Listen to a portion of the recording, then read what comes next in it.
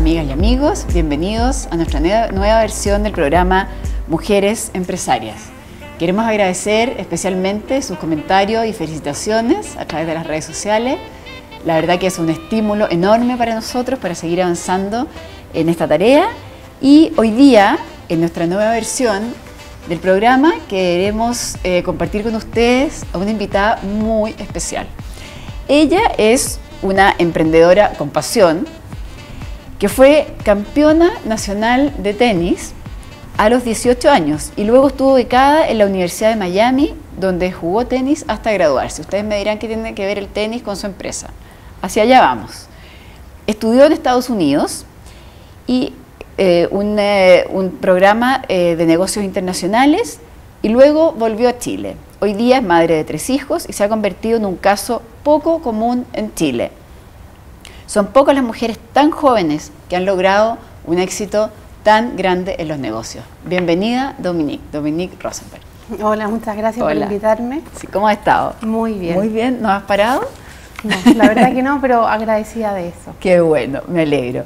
Dominique, mira, la idea y, bueno, lo, lo, que siempre nosotros tratamos de, ¿cierto?, mostrar es cómo a una persona tan joven se le ocurre un negocio tan grande y cómo finalmente, yo quiero ir desde lo pequeño a lo grande, de dónde salió la idea.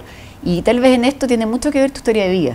Entonces, de repente vamos desde el inicio para ir conociendo y, avanzando en este camino de lo que ha sido tu gran, gran empresa. La verdad es que yo creo que las ideas cuando parten, parten como una pequeña idea, no parten como una gran idea. Y, y uno no se imagina en lo que se pueden convertir hasta que ya tienen una gran forma y, un camino bien plasmado, bien formado. ¿ya? Hoy día yo puedo decir que yo tengo súper claro eh, dónde estamos y hacia dónde vamos, pero ocho años atrás no lo sabía, no, sabía. no tenía la menor idea. Ya, y si tú tuvieras que definir tu empresa en tres líneas. Yo te diría que somos una empresa de belleza, claramente, muy apasionada, que vibra con lo que hace. Perfecto, buenísimo. Oye, y, esta idea, ¿qué, tuvo que ver tu historia de vida, de alguna manera, con lo que pasó después? Sí. ¿Cuál fue tu historia de vida distinta a la que en general uno, no sé, a los 18 años a jugar tenis a Estados Unidos? Es algo distinto. Porque tenías aptitudes, porque eras buena, tú pensás irte por otro camino, llegaste a este. ¿Qué pasó ahí? La, la, verdad que el tenis en sí con, con, con, lo que hago hoy día no tiene nada que ver, pero a la vez tiene mucho que ver. Y la verdad que fue, fue el destino, pero a la vez yo creo que el destino te, te lleva por un camino que al final te va dando opciones que tú, tú tomas o dejas. O sea, te generó oportunidades y tú de alguna manera las fuiste tomando. Y debido al tenis, yo desde muy chiquitita, bueno, tuve la suerte, tengo la suerte de tener una hermana que tiene muy cercana a la edad a mí y juntas eh, pudimos hacerlo, no, no, estuve tan sola, ya, porque sí, el tenis es un deporte muy, muy solo. Muy solo. Eh, tuvimos la suerte de que mis papás siempre nos apoyaron con el tema del deporte, pero desde, muy, desde los, esto partió a los 8 años. O sea, nosotros ah, a, los, a, 8 años ya jugábamos tenis a nivel full, a nivel como profesional, pero a nivel competitivo. competitivo. a los 10 años ya éramos, yo era campeona de Chile, a los 12 años ya era campeona de Chile y jugábamos una categoría más grande una que la otra. éramos la nos decía la hermanita Rosenberg. Entonces, a los 12 años ya viajábamos por todas partes jugando campeonatos. Entonces nos tuvimos que ir porque para nosotras ya no era factible el colegio. No podíamos, el colegio nos dio todas las facilidades del mundo durante el tiempo que pudo, pero cuando ya no era factible ya no pudimos no se Podía, claro. Entonces llegó un momento en que a los 14 años nos fuimos de Chile, nos fuimos a vivir a Estuvimos en dos academias diferentes, estuvimos en Nick Boletieri, al mismo tiempo que vivía el Chino Río, ah, después estuvimos con Fernando González, Fernando eh, es más grande que yo, pero compartí toda mi, vida deportiva con él. Eh, tengo grandes amigos tenistas que fueron de los mejores ranqueados del mundo y que compartí mi infancia con ellos y que la verdad me siento súper orgullosa de haber tenido esa vida, que es una vida muy sacrificada. ¿ya? cierto, no es el glamour que uno piensa y, sobre todo a esa edad que uno quiere estar en la fiesta. Es lo más absoluto, no tiene nada de glamoroso, no tiene... es muy sacrificado, ¿ya? Eh, yo me acuerdo cuando yo era chica, amigas mías me preguntaban, pero Niki, ¿esto es lo que a ti te gusta? ¿Esto es lo que tú quieres vivir? Y probablemente en algún momento yo puedo haber contestado no. Pero estoy muy agradecida de que mis papás me hayan empujado y no, y no me hayan permitido nunca parar. Porque cuando uno es chico, uno no tiene tan claro lo que quiere. Absolutamente. Y probablemente, y, yo lo veo hoy día con mi hija, las niñas juegan una semana handball, una semana volei, una semana no quieren nada. Entonces, el, el, deporte, uno, si uno no empuja a los niños cuando son chicos a hacer las cosas, no lo hacen. No lo va a hacer. Y la es mucho más fácil no hacerlo. No hacerlo, o hacer lo que toque esa semana. Yo creo que la constancia, la perseverancia, eh, eso que te da el deporte no te lo da nada más. O sea, eh, eso fue por eso quizás el inicio incipiente quizás de tu, de tu carrera. Y yo creo que te lo, da, te lo da como persona, te lo da como profesional. Y yo creo que esa formación que te da como persona y profesional es el empuje que te da para hacer cualquier cosa que tú quieras hacer en la vida. En mi caso se, se dio en mi emprendimiento. Claro pero en cualquier otra persona, en cualquier otro deportista se da en otras cosas. Absolutamente. Entonces, ese, ese es la, De ahí, como ahí dice que sientes que eso es, claro, que uno hoy día tú puedes mirarlo hacia atrás y ver, si uno está todos los puntos, ahí hay un tema súper, súper importante. Sí. ¿Y en qué minuto, cuando estás jugando tenis, ya vamos que tenías 14 años, te tienes que ir a vivir afuera, me imagino con tus papás probablemente, o, no, vas a la academia. Vas yo me voy a esta academia con mi hermana. Con tu hermana. Es una academia en la que nosotros vivimos, es un colegio especial para deportistas, entonces ¿qué pasa? En realidad todo gira en torno al tenis y los profesores te van dando todas las facilidades, cosas que tú estudias. Si tienes que entrenar en la mañana, el colegio en la tarde, si tienes que entrenar en la tarde, el colegio se va modificando. Y viajas seis meses al año. Ah, entonces ya. O sea, ni siquiera, aparte de estar ahí, tenías que viajar, ¿verdad? seis meses, o sea, yo y mi hermana eran giras que todo enero y febrero, me acuerdo de Venezuela, Colombia, Ecuador, Perú, Bolivia, Chile, Argentina, Uruguay, Paraguay, Brasil. Era ah, todo Era todo los veranos lo mismo, de memoria. Todo, julio, junio y julio era toda la gira a Europa. O sea, era algo, eh, diciembre toda la gira a Estados Unidos. Entonces era mucho viaje. Era mucho viaje, Entonces, muy eh, sí, y el nivel de entrenamiento allá muy exigente. Es colegios especiales que te dan todas estas facilidades y al final estás en un entorno con gente que hace lo mismo que tú. Perfecto. Ya, y llega a los 18 años que marca un punto de inflexión. ¿Qué pasó ahí? Sí. Eh, es un poquito antes de los 18 en los que en realidad la decisión fue antes, ¿ya? Como a los 16 años llega un momento que tú tienes que decidir o definitivamente vas a seguir el camino del tenis profesional y vas a dejar los estudios, ¿ya? O vas a tomar el camino de, que toman a veces muchos profesionales en Estados Unidos en distintos deportes, es que juego por la universidad, ¿ya? Y si veo el primer año que en realidad lo que quiero es dedicarme al, al tenis, me salgo de la universidad y sigo por el tenis, o simplemente juego por la universidad, tomo mi beca, que es una muy buena beca, y termino. En mi caso, para mis papás, era muy importante que yo estudiara. A la vez era muy importante el deporte para ellos. Ellos, la verdad, empujaron muy fuerte el tema del deporte en el, caso mío y de mi hermana. Pero dijimos, mira, la verdad es que en Estados Unidos el tema del deporte en las universidades es muy competitivo. Hay división A, B y C. Y yo estaba entrando a división A, a una universidad que estaba muy bien rankeada. El entrenamiento es cinco horas al día, o sea... Todos los días. Todos los días, cinco horas al día. Eh, también viajando, es muy competitivo entre universidades, o sea, hay que mantener el ranking entre las universidades.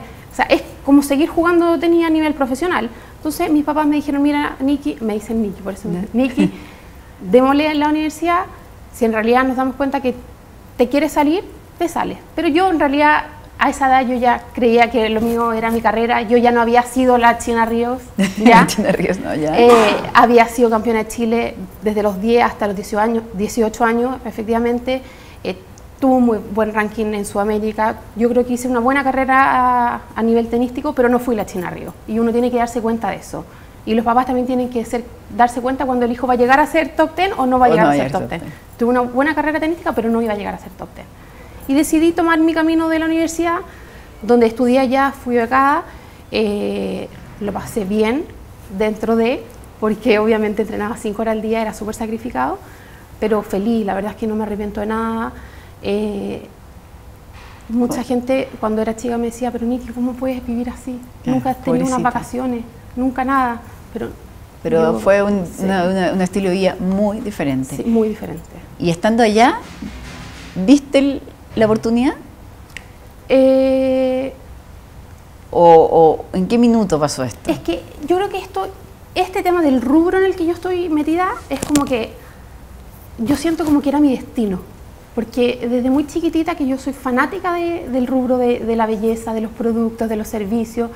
Entonces yo desde los 12 años que le colocaba cremas a mi abuela, le hacía las manos a mis amigas. Ah, ya, era un tema Entonces, yo cada vez que podía me, escapaba esto, siendo que vengo de una casa donde no tengo una mamá fanática del tema, porque uno por último dice, tiene una mamá que era fanática, lo vio siempre en la casa. no, en este caso no, en mi caso no, mi mamá era arquitecta, no tenía nada que ver con el rubro. Pero siempre fui fanática, o sea, debo haber sido la niña más chica que conoció una peluquería. O sea, lo tenía, lo llevaba en la sangre. la sangre. Lo llevaba en la sangre.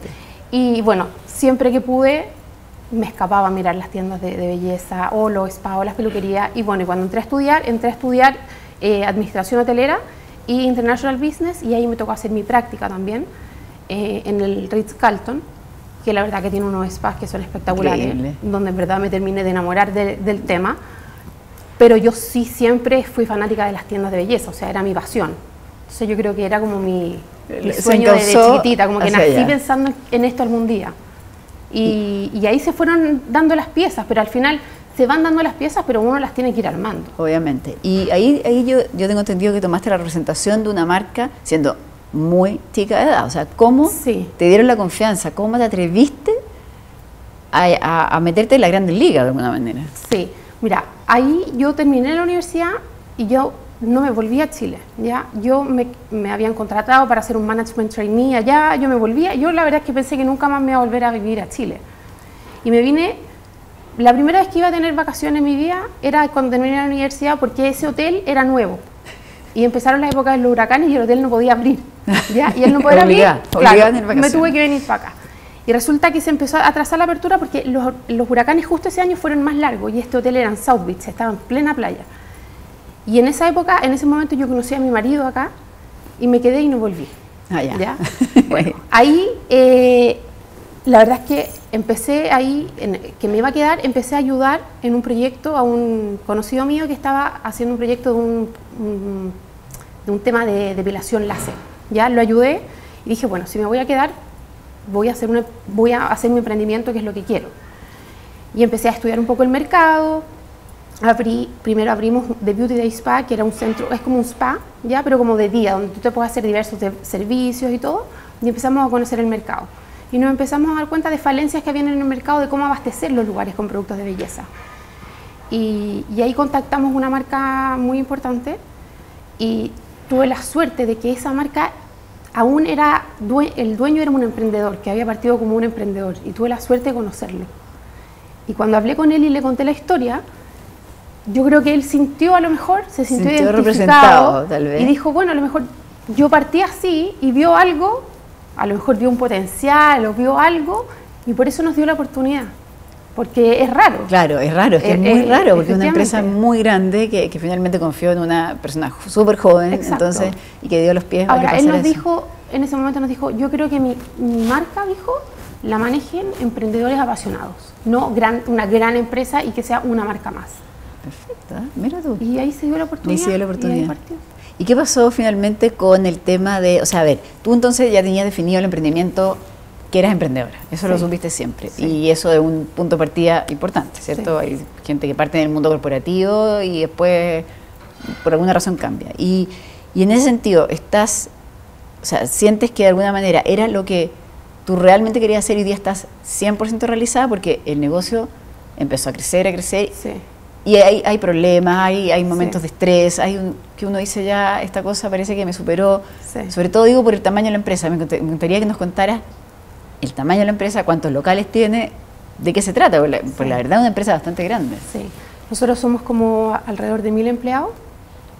Eh, tenemos 70 tiendas, 70 tiendas propias, pero a la vez la empresa tiene un lado que no es de tiendas propias, que es todo lo que es distribución de productos a distintos canales de belleza que existen hoy día en el mercado, supermercados, farmacia, eh, perfumería, retail, retail todo, cualquier, eh, cualquier canal que venda productos de belleza, dependiendo del canal, dependiendo la estrategia de la marca o del producto. Perfecto. Entonces, por un lado tenemos tiendas propias y por otro lado somos una distribuidora de productos de belleza.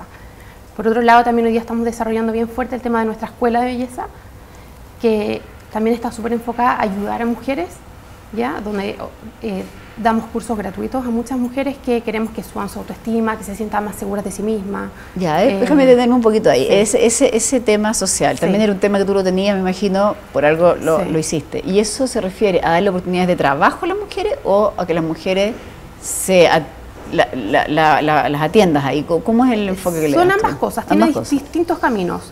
Eh, es una forma en que nosotros capacitamos a la gente y le damos la oportunidad de trabajo. Por otro lado, es gente, ayudamos a fundaciones, ¿ya? Eh, por ejemplo, la semana pasada estuvo una fundación de mujeres con cáncer, eh, ah, perfecto, ayudándolas a su autoestima. su autoestima. entonces vamos a distintas entidades ayudando. Y, no necesariamente es porque para darle trabajo ni nada, es dependiendo, de, dependiendo, de la necesidad. caso, exactamente. Exactamente, pero es una forma de retribuir y de ayudar a la sociedad. Perfecto, perfecto. Oye, y, esta tienda, eh, este, este mundo que, que, has, que formado, ¿quiénes son hoy día tus socios? ¿De ¿Con quiénes trabajas? Mira, yo partí, este negocio siempre he partido en sociedad con mi marido. Ya. Ya, pero los primeros 7, 8 años mi marido no trabajó conmigo. Pero siempre estuvo a mi lado, siempre fue mi partner, mi socio, todo. Pero trabajaba en, siempre trabajó en el retail. Eh, hace aproximadamente ya casi 5 años nosotros eh, vendimos el 70% de la propiedad al holding de empresas, a empresas Alcobrán, ¿ya? Y nosotros nos quedamos adentro con el 30. En ese momento ya sí se vino a trabajar a la empresa. Perfecto. ¿Y en el management? ¿Ustedes se quedaron dentro de la empresa Nosotros nos quedamos en el management de la empresa y seguimos manejando la empresa eh, de forma independiente. Sí, eh, sí tenemos directorio, eh, sí tratamos de tomar todo lo bueno que ellos nos pueden dar a nosotros, la verdad que tenemos una súper buena relación, son casi cinco años ya, ha pasado súper rápido. Qué rápido se pasó, sí. Oye, y Dominique, mira, tú que tienes una empresa que creció harto y, una empresa ya derecha, eh, cuando vendes, ¿alguna vez estuvo en el foco de ustedes? Porque mucha gente parte de su empresa y dice, voy a, voy a partir esta empresa para venderla al... A, es el foco, para venderla y ahí como hacérsela pasar un poco. ¿Tu, tu, tu idea se, se, fue venderla o también se te dio un en el camino se fueron estas posibilidades. ¿Cómo, cómo lo planteaste La verdad es que cuando uno parte, uno nunca parte pensando en que la va a vender, ¿ya? Eh, una vez un, un, gran emprendedor chileno me dijo una palabra que me carga, mijita. Dijo, mire mijita, las empresas son para venderlas, ¿ya? No cometan el, error que cometen todos los emprendedores de pensar que las empresas son sus guaguitas. Me dijo eso. Y la verdad es que yo, uno no parte pensando en que las va a vender, ¿ya? Eh, las cosas se van dando en el camino, uno tiene que evaluar las cosas, las oportunidades, si son las correctas o son las incorrectas. Yo creo que lo que hicimos en ese momento era lo que había que hacer, fue lo mejor para la empresa y no me arrepiento en nada. Creo que fue una excelente sociedad, un, conjunto muy bueno. Eh, tuvimos la suerte de que son unos socios maravillosos y estoy feliz, la verdad que estoy feliz de lo que hicimos. Eh, eso era lo que había que hacer. Sí, era lo correcto para la empresa. Oye, y, mm, dificultades importantes que tú dijeras. Te quiero hacer dos preguntas. Primero, dificultades y otra, si realmente crees, y en tu caso cómo fue, que hay que tener un gran capital para iniciar una empresa. Esa es la primera pregunta. Y segundo, un poco asociado a eso, ¿cuáles fueron las grandes dificultades? Sí. Creo que no hay que tener un gran capital. Yo no partí con un gran capital, ¿ya? Eh, y hay muchas dificultades asociadas. Uno a veces escucha la historia y cree que son muy lindas. Lindo, ¿sí? ¿eh? Y lo lindo es que el, el, tiempo lo borra todo, sí, ¿ya? Y las cosas lindas opacan las cosas feas. Entonces, cuando yo miro para atrás, no me acuerdo de, lo malo. o me acuerdo mucho menos. Pero eso es bueno, en todo sentido en la vida. No, sí, porque si no... Eh, hay muchas dificultades. Eh, problemas laborales en general con la gente, problemas de flujo de caja, eh, problemas de embarques, problemas de espacio, de bodegaje. O sea, cuando yo partí, yo vivía con mis papás. La casa de mis papás estaba, era, la bodega, era una bodega. Era una... O sea, era una bodega. Un 24 de diciembre éramos descargando un container en la casa de mis papás. O sea, realmente así como partiendo sí, literalmente sí, con mi, papá, mi papá etiquetando productos con mi mamá. O sea, de verdad uno no, no dimensiona a lo que las cosas pueden llegar pero las cosas parten levantando el, emprendedor, el emprendedor levantando la cajita. O sea, esa es la forma que a mí me enseñaron que las cosas se hacen. O sea, haciendo la pega todo el rato. Sí, y uno no le puede pedir al otro que haga algo que uno no es capaz de hacer. Exactamente, es una muy, buena enseñanza. Hoy día, mira, muchas veces hemos escuchado, y también lo escuchamos en el caso anterior, eh, que empresas que de alguna manera son pymes, ¿cierto? Sí. Se enganchan con un grande. ¿ya? En este caso tuyo fue Sarcobrán, en el caso de ella fueron los retailers de, mejoramiento del hogar, etc. Eh, ¿Cómo ves tú en ese sentido? Porque yo he escuchado más o menos buenos casos. ¿Has tenido tú una realmente buena experiencia o crees que ahí hay también una, un poco es asimétrica la relación? ¿Lo recomendaría? Porque mucha gente dice, oye, yo no quiero saber del retail. Y otros dicen, sí. ¿Cómo ha sido más o menos? Tu experiencia fue más o menos buena, pero, pero a pesar de que fue buena, ¿cómo? Porque tú ya te metiste en el tema, entonces algunas cosas uno la ve, la parte buena, pero también se conoce la parte mala. ¿Cómo ves tú esa relación y la, la recomiendas? Es que yo creo que no es algo que yo puedo recomendar, porque va a depender mucho del caso a caso. Entonces, si a mí me preguntan si yo recomiendo mi caso, claro, yo recomiendo mi caso mil por ciento porque mi, experiencia es maravillosa, pero no significa que porque la mía sea maravillosa se va a replicar en otra persona. Eh, a mí, antes de hacer esto, todos me decían, lo peor que puedes hacer, el grande se come al chico, te van a, lo peor, te hablan de, lo peor. Entonces, efectivamente, eh, hay que evaluar muy bien cuál es la necesidad de la empresa para ver cuál es el partner adecuado. Ya, eso es muy, para eso hay que conocer muy bien su empresa. Exactamente. Y ahí tienen que exactamente. ¿Cuál es la necesidad de la empresa para ver cuál es el partner adecuado? ¿Qué es lo que quieres tú de tu empresa también? Porque si yo quería vender para irme, ellos no querían eso. Ellos querían un partner. Yo también quería un partner. Entonces, Entonces la cosa encajó. Claro, siendo que son un gigante. Entonces, pero sí también habían otros interesados que querían comprar y no les interesábamos nosotros. Entonces, todo depende. hay, que, saber, hay que hacer una muy buena evaluación de las cosas. Hay que saber negociar también y saber manejarse. Y, saber, tener muy claro el propósito de cada uno. Mira, hay una pregunta también que te quiero hacer. Tú igual te preparaste y estudiaste, ¿ya? Pero, pero también, eh, estoy segura que conoces otros casos, en que la preparación, a mi parecer, es mm. muy importante. Pero hay emprendedores que son, realmente se hacen a pulso. ¿ah? ¿Cómo evalúas tú eso? Hay que prepararse un poco más, hay que, hay que hacer esta formación continua, eh, es más un poco de guata el emprendedor, eh, tiene eh, la intuición y, va, o ¿cómo lo ves hoy día, hoy día en el año 2019, cómo están las cosas, que tiene que pararse un emprendedor frente al mercado? Mira, yo creo que no hay fórmula, yo creo que hay de todos los casos, exitosos, no exitosos, hay algunos muy, muy exitosos sin preparación, otros muy exitosos con preparación. Yo creo que lo importante es saber rodearse de un equipo de gente que te complemente. Yo creo que eso es lo más importante. Ya, la medida que uno pueda tener lo que uno le falta probablemente. Exactamente. O sea, por ejemplo, yo o cualquier otro emprendedor o quien sea que quiera armar un negocio nunca va a ser capo o va a saber de todos los ámbitos de que una empresa necesita. Entonces, yo lo, lo importante es que yo busque al mejor en informática, al mejor en administración y finanzas, al mejor en nuevos negocios, eso es lo importante, rodearse de los mejores. Armar un equipo que... Sí, los equipos son súper, súper relevantes. Súper relevantes, sobre todo hoy día. Sobre todo hoy día que ya el mundo digital y la transformación y todo este tema es algo que es imposible que una misma persona lo sepa todo. Antes el emprendedor podía hacer mucho más, pero hoy día el emprendedor necesita demasiadas herramientas. Ya, ya no es el emprendedor, ahora es es mucho más, que, el emprendedor. Entonces, el emprendedor tiene que tener eso. Y en particular, como estamos, tú tocaste el tema de, eh, de lo que significan las nuevas herramientas, y, caemos en las redes sociales y caemos en todo este tema. Eh, hoy día un, emprendimiento se puede plantear desde tu punto de vista, como has visto tú lo que es, estás etiquetando y estás haciendo todo eso.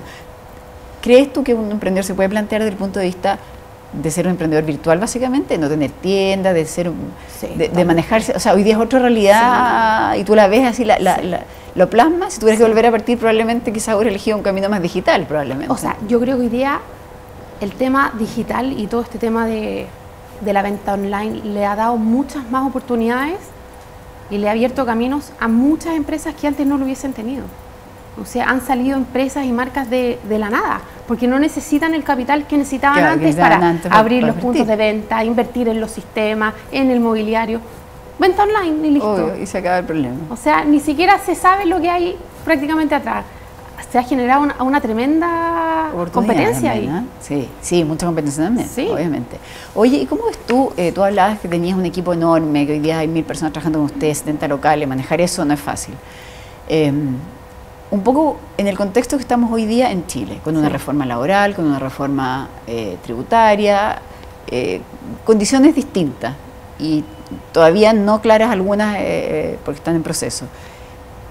tú como emprendedora de tomo y lomo, ¿cómo ves hoy día ese escenario, en particular esas dos reformas, sí. mirados muy macro, pero cómo te afectan a ti? ¿Sientes que hay un tema ahí con, tu empresa o con las empresas que de alguna manera con las que tú te manejas y te, y te estás O sea, yo creo que siempre no, sí nos afectan y siempre nos van a afectar todo este tipo de cambios y, la, incertidumbre, de saber siempre qué va a pasar. Eh, Obviamente es tremenda. Pero lo que tratamos de hacer es ir tomando las cosas paso a paso. Yo la verdad es que soy súper eh, inquieta, demasiado impaciente, demasiado acelerada, voy a, mil por hora y trato de que complementarme en mi equipo con gente que trate de ser más calma.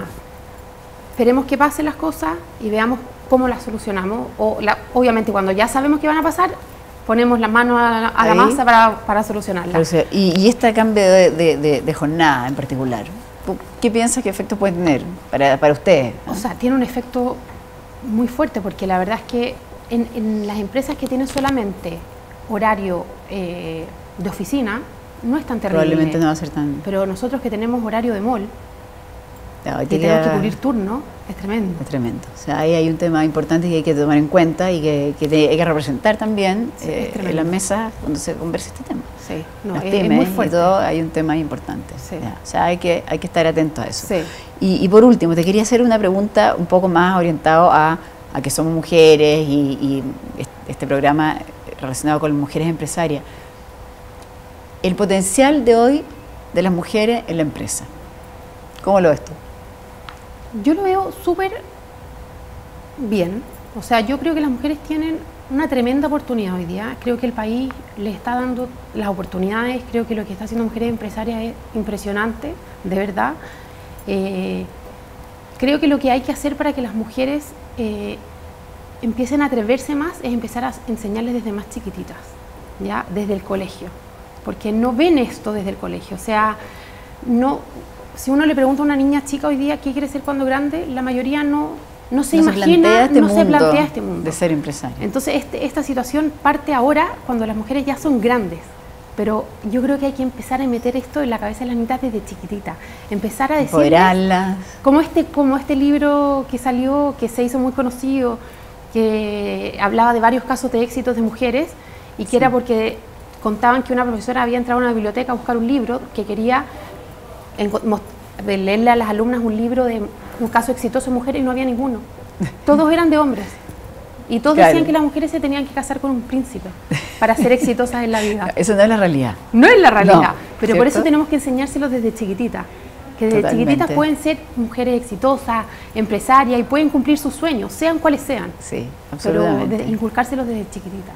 Muy, muy, muy interesante y estoy totalmente de acuerdo contigo, además, que hoy día estamos en otro mundo y tenemos que, obviamente, dar las condiciones y dar a conocer esto desde chicos. Sí. Totalmente, hay un gran potencial ahí que podemos ocupar. Dominique, muchas gracias por tu, por tu tiempo, por estar con nosotros. Eh, qué rico haber compartido contigo lo que significa una, empresa del tamaño que lo has hecho. Te felicito. Muchas gracias. Y espero que crezcas aún más y que nos sigamos viendo eh, en todos tus éxitos, que han sido montones. ¿ah? Muchas eh, gracias. Y haberlo compartido con nosotros. Y a ustedes, muchas gracias por acompañarnos una vez más en este capítulo de nuestro programa Mujeres Empresarias. Siempre es interesante contar eh, y poder escuchar estos testimonios, son muy enriquecedores y, sobre todo muy motivantes. Queremos dejarlos desde ya convidados a nuestra nueva, eh, nuestro nuevo programa eh, en Campo Abierto Televisión. Muchas gracias.